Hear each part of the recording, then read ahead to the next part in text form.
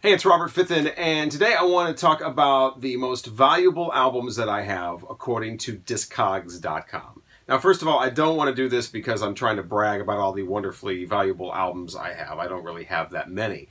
Uh, but everybody in the vinyl community seems to be making these videos, and a lot of people like them, so I thought, why not? I will make one too. Uh, plus which, when people find out that I've been a, you know, I collect records or whatever, all throughout the years I've been doing this, one of the first things they say is, what's the most, you know, what's the most expensive record you own or whatever. So uh, here it is, the 10 most expensive or most valuable records that I own according to Discogs.com.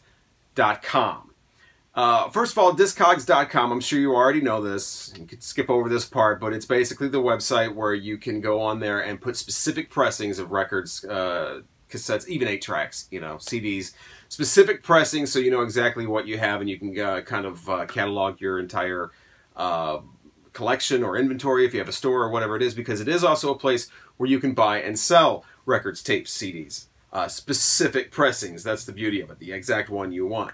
So what they have here is when you put your collection in there, uh, which I've done, uh, you can either uh, sort it by the uh, lowest that someone has ever paid for that particular pressing of that album, by the highest someone's ever paid.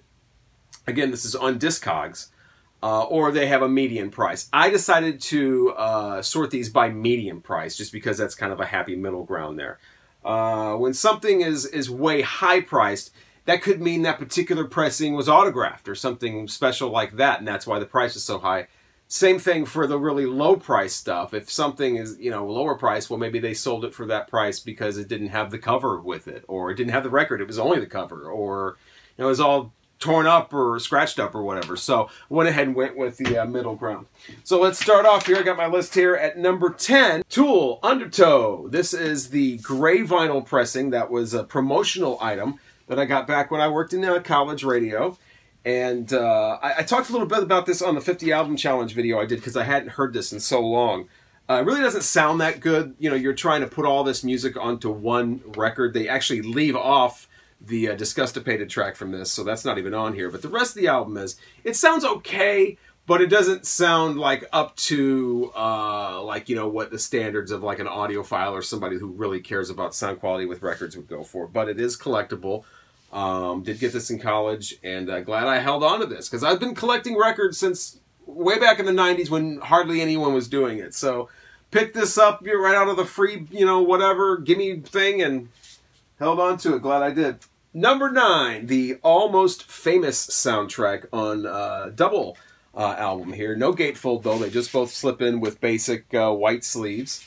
Uh, this is on the DreamWorks record and uh, label, and this is uh, it's kind of interesting because this is a soundtrack from the movie Almost Famous, which features mostly older songs that you know you heard probably on record. Simple Man from Lynyrd Skynyrd, That's the Way from Led Zeppelin, Tiny Dancer from Elton John, uh, The Who Sparks. Uh, uh, Feel Flows from the Beach Boys, America from Simon and Garfunkel, Waiting for the Man, David Bowie. It goes on and on and on and a couple of new tracks thrown in there as well. Uh, this I don't think has ever been uh, reissued, and that's one of the reasons why it's uh, uh so much here. And the uh, median price, $146 is what people are saying the median price is of this is on Discogs. That's what somebody's paid for this. Forgot to mention the tool was 132 median.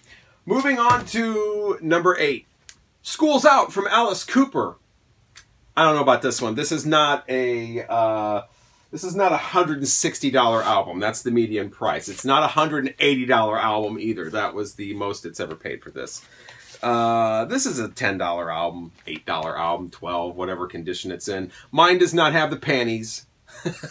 so that's the thing. But I'm sure the, uh, what was it, the $180 uh, copy of this was probably autographed or something like that. And that's why it was so rich. So uh, this one doesn't really fit in with the rest. It's not a super collectible item and it's just an anomaly that it's uh, that priced on Discogs. Like I said, probably autographed or something like that is why it had that price. So we move on to uh, number seven. The self-titled album from Alice in Chains is number seven, and this is another promotional item from the mid-90s, and uh, it is the gatefold uh, promotional copy. It does have a little thing out of it there. Double uh, album here, and sounds actually pretty good for an album that, uh, or a record that was made in 1995. I've played this thing like maybe twice, and it is uh, brilliant. Uh, same kind of artwork, of course, as the as you would expect in the CD, but really put together well. And uh, I really like this a lot. It's got a nice textured, uh, kind of a matte finish on the uh, album cover here. But yeah, Alice in Chains, Alice in Chains. I don't know if um, this has been officially re-released. I know there's kind of bogus, uh, kind of dubious release of this, which is not a gatefold um, for whatever reason. Uh, but yeah, this is super hard to find. $200 the median price on uh, Discogs for this. 350 is the max. And the lowest is uh, 180. So it's right around the same kind of uh, area there. Pretty uh, rare stuff. And as soon as Columbia gets smart enough to reissue this, those prices will go down. Number six, the return of Durutti uh, column, and this is super hard to find on Discogs. Uh, $215 median, 398 for the most. Now there are different versions of this, but this is just the prices for this particular one. This would be worth a lot more if it was the uh, pressing that had the hand stamp on it, where they actually took a thing and did the stencil work on it themselves. The band did, uh, but this is not that one, so it's not worth quite as much. It is the one that's 215 and 398. And the record is pretty much basic, but what really gets it is uh, the sandpaper album cover here, both sides. It's meant to totally scratch up all the record albums that are next to it. So obviously you thwart that by keeping it in a nice uh, plastic uh, cover here. But uh, Durutti Column, uh, yeah, there you go. The return of coming in at number uh, six. That means we're halfway there. Number five, Temple of the Dog. Another one that we're just really waiting around for a record label to get smart enough to uh, reissue an actual uh, reissue of this. I don't think that's happened yet. A couple of bootlegs out there. Doesn't sound that well though. Another case of uh, doesn't sound that good. Another case of a uh, lot of music on one disc, and it's it's too much. It's really thin. Uh, not a lot of uh, great sound here, but it is quite collectible. Uh, at number five, it comes in at $225 median price and $495. Mine somebody has taken and written V281 on it, so uh, mine is not worth that much. But uh, yeah, you get the uh, generic record uh, label uh, and then a nice uh, lyric sheet. Basically the same thing as you get with the CD, but larger because it's an album. Temple of the Dog. This is, of course, the Soundgarden slash Pearl Jam kind of tribute album that came out in 1991 great album. Uh, I prefer to listen to this on a CD or stream, though. Like I said, the record is not that great, but it is beautiful and uh, obviously very collectible. Number four, Nirvana, Nevermind. Can't like, oh, I could, but that just takes too much time. It's actually up there on the wall in a frame. Another one that I got in college, same deal as Temple of the Dog. It was in the record library. No one ever played it because it's a record. You know, what's that?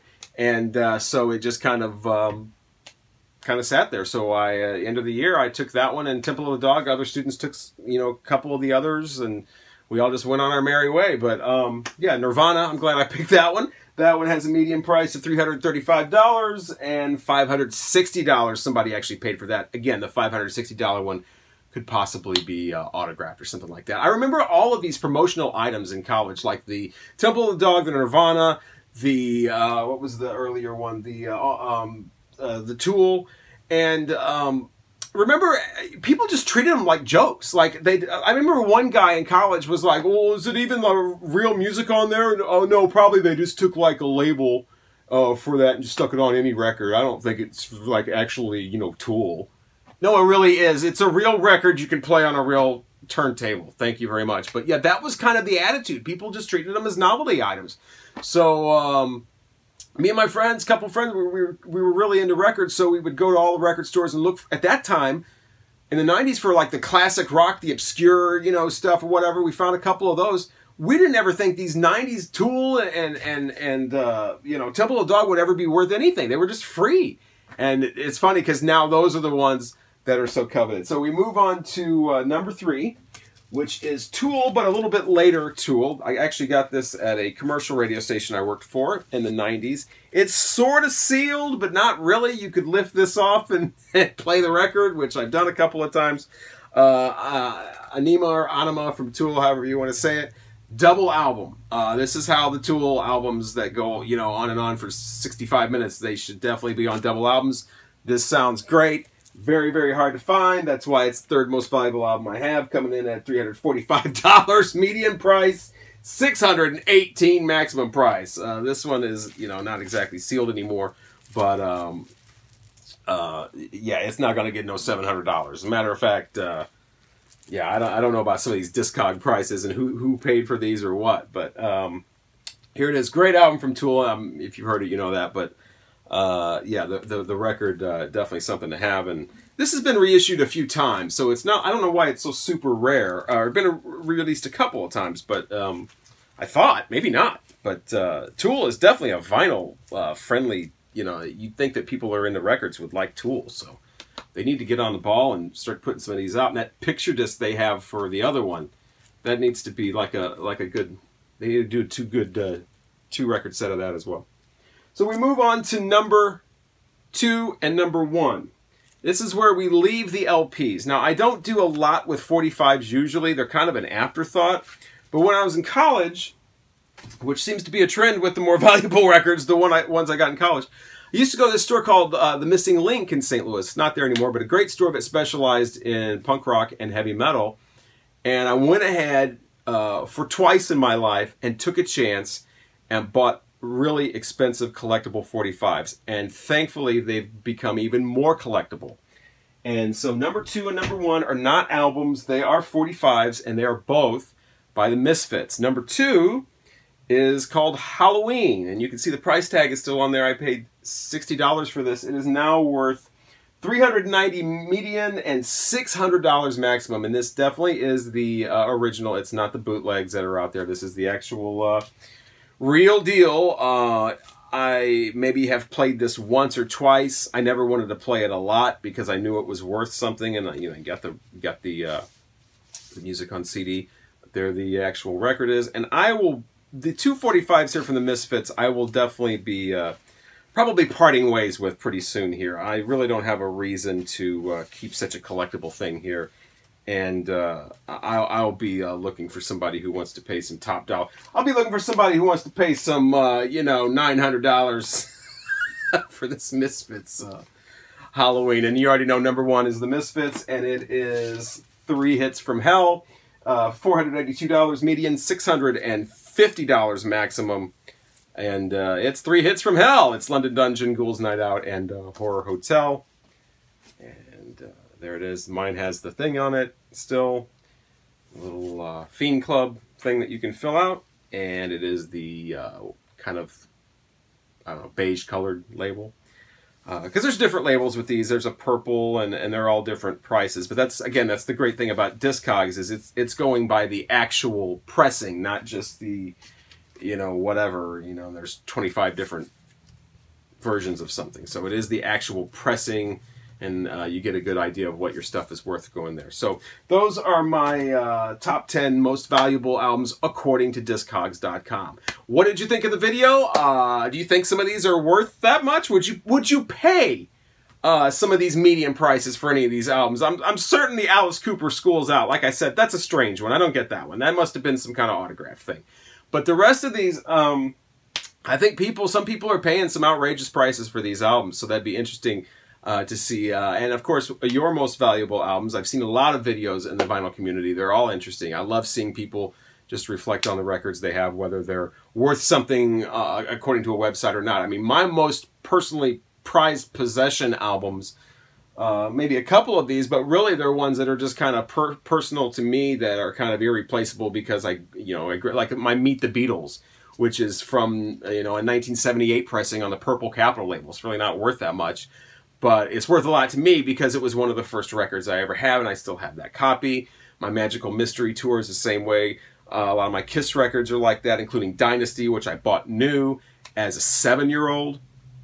I love that album. It's worth, you know, probably 20 bucks or whatever, but it's worth the world to me. So, I mean, that's really what I gauge value on. So, but those are my 10 most valuable uh, records according to uh, Discogs. Oh, and then, you know, that one too.